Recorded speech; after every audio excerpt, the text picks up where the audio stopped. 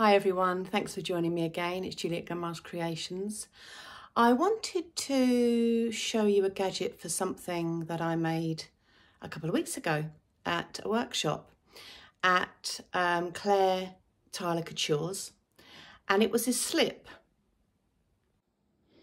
So there it is. It's a cami camisole slip and we were learning all about sort of tricky fabrics, satin, silks, viscose, and lace as well. So did some lace work, cut the lace and sewed that on to make it all beautiful. And at the bottom, cut away the fabric once the lace was actually sewn on. So it gives you this beautiful effect, this see-through effect on the bottom. There.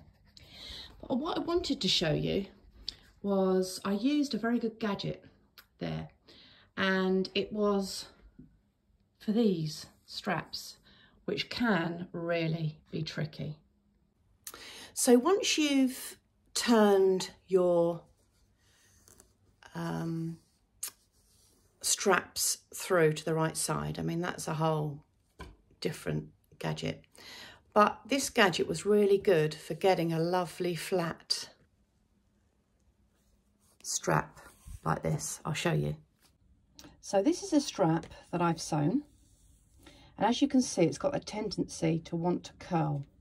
This is only viscose, but it's, you know, it's one of those delicate, light fabrics. But that's, that's the difficult thing, is it tends to want to turn and twist. So it's these, a loop pressing bar.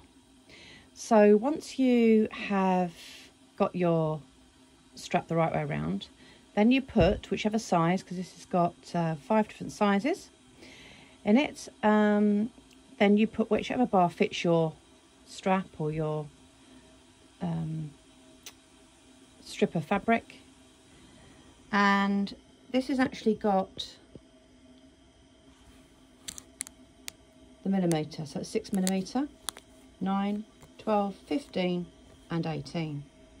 So the most difficult part, honestly, was getting into that packet. Goodness me, once you've done that, this, this is nothing. So what you do, start doing, is you thread your pressing bar, the iron going off, the pressing bar through your strap, making sure that you've got the sewing line, your line of sewing on one edge, like that. Then you just press with an iron.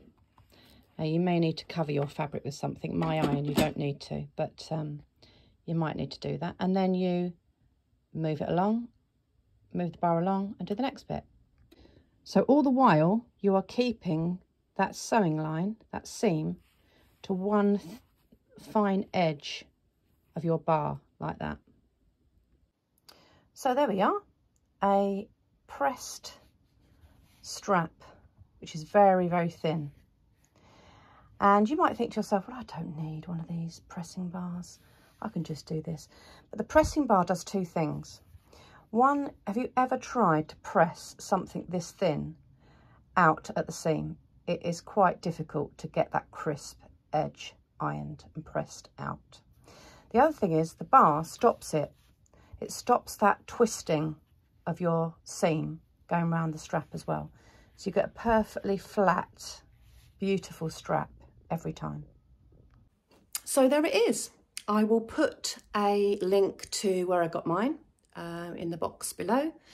And I hope you enjoyed that because I thought it's going to make my life so much easier when I make straps, whether that be straps on bags or, or more delicate ones on um, things like cami tops and things.